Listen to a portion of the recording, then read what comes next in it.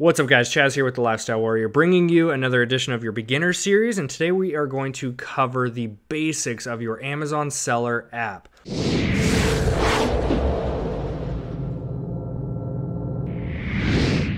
Just go into whatever application store you have on your phone and just search Amazon Seller app, and you're going to see this main one pop up. I'm going to show you the basics. You have a few different things on the homepage here. Number one is scan, so you guys can see these little blue dots, those are visual scanners. So for example, if I actually do this live right now, see if this picks it up. I can scan just that and it will pull the image and try to find its best match, which that did awesome. Then I can tap on that brings up the listing. So that feature is extremely handy if you cannot scan the barcode. So let's say you are inside of a thrift store or Goodwill or Walmart, they have a big clearance sticker over the barcode itself, or sometimes you see Goodwill will actually take a pen and mark out that. So you can actually scan by the image itself or the barcode. Scan is your first option. Sell a product is number two. So in here, you can check out just any trending products that are coming on. These are kind of fun just to see if you have any, any ideas that spark of products you want to try to sell, you can check out all these different things in here. So aside from checking out the movers and shakers, top sellers, etc., you can actually tap right here. And this is another area you can search by title. So if your product does not have a barcode for some reason, you can search by title and that will bring up any listings with that title. Or you can tap on that camera button, top right, and it will bring this back up. If you're in a situation where it's dark, you have your light option. You can see that pop on and off. We're going to hit cancel. We are going to go back to our home page. And then from here, number three is ship orders. So if you are doing any type of merchant filled, this is where you would go ahead and tap and you can create your order fulfillment just straight from here. Since all of our stuff is done via FBA, you can see like we just sold these today we don't need to do anything because Amazon handles all orders and shipping. Next up is pricing opportunities, improve my pricing. You can tap on this and you can compare to the buy box prices, sales conversion, etc. These are always nice to kind of play around with, see where your pricing is at compared to other people. And you can pl- reply to messages, restock low inventory, manage FBA shipments. We'll show you any current shipments that you've done. So let's get into a couple of the basics. I'm not going to go through every single tab here because a lot of these are pretty self-explanatory, but the main ones that we mess around with, number one is inventory. So you guys can see right now, as of the time of this recording, we have almost a thousand offers. And in here is your exact inventory. So let's take one of these shoes, for example, Nike Women's Metcon 2s. I'm gonna go into this listing. This is where you can adjust your pricing. So you can see in the middle of the screen there, buy box price will show you what the current buy box is. And it looks like based on our pricing, we probably own that buy box.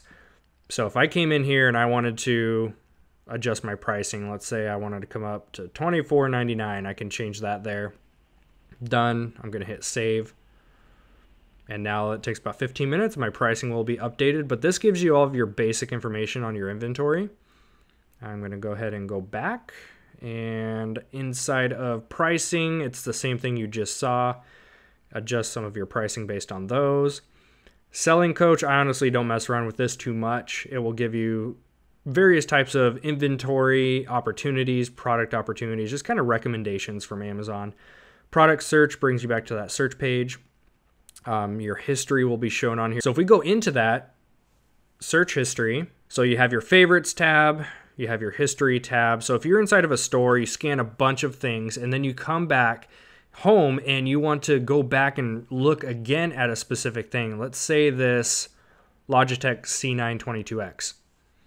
I want to go back and look at that again. It's going to show you exactly what you search. So your entire search history will be right there. Communications will be your messaging. So if you do get customer messages, because we are FBA, Amazon handles all customer service. So if you ever do get a message from a customer, just send them a message back no matter what it is and just let them know because your item was fulfilled by Amazon, you can go ahead and reach out via their customer service and they can take care of you.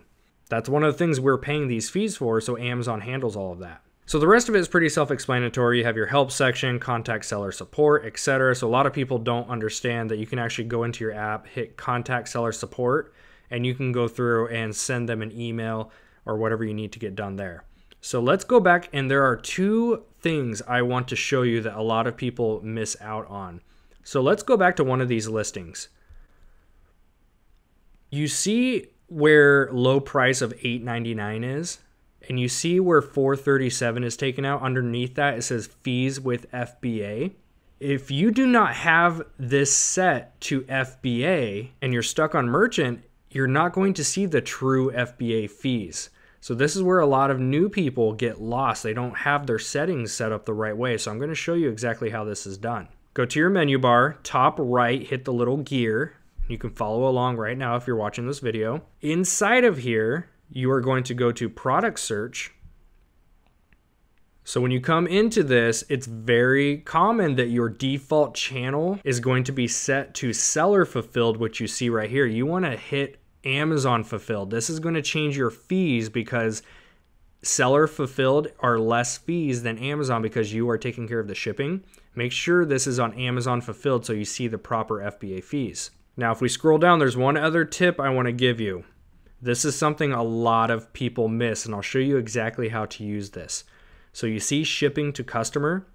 This we do not need to worry about because we are not merchant filling. If you are merchant filling and that's something you want to do, you need to make sure you put in whatever your estimated cost to the customer is going to be so it pops up in your fees. We, on the other hand, are shipping to the Amazon warehouse, so we are just going to worry about that tab. You can see I have 60 cents per pound is my estimate. That is a very safe ballpark number you are actually going to be surprised the more you send in the larger shipments, you can actually get this down below 30 cents per pound.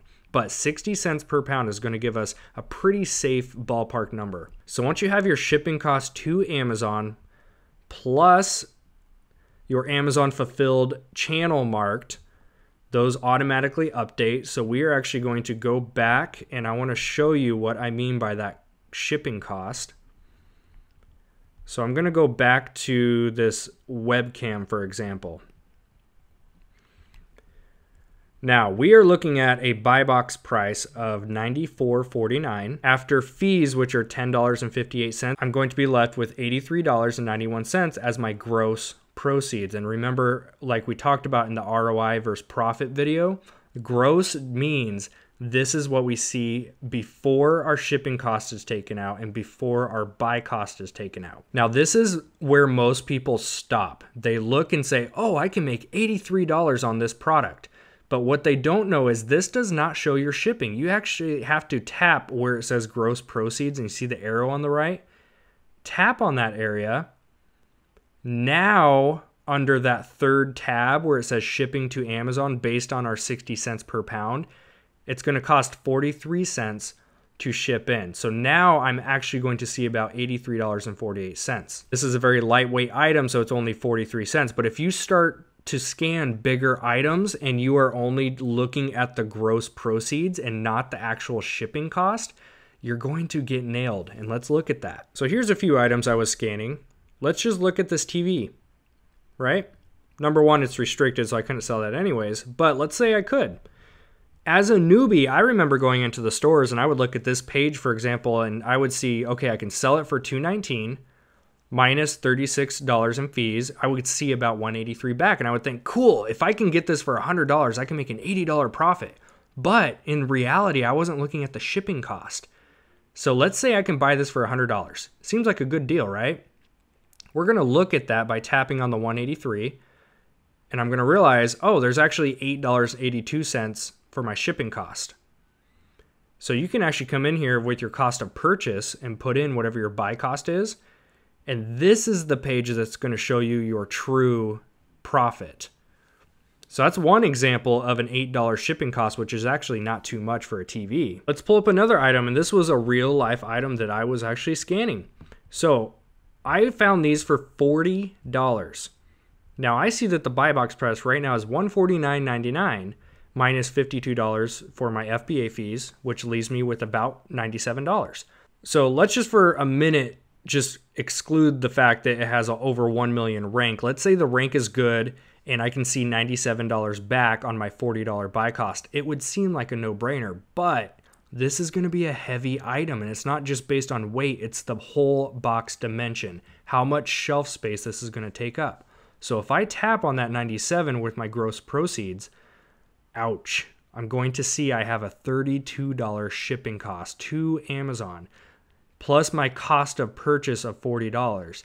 So I would really only see $25 back. So anytime that you're out scanning in the stores, just make sure you are switching to this specific screen so you can see exactly what your numbers are.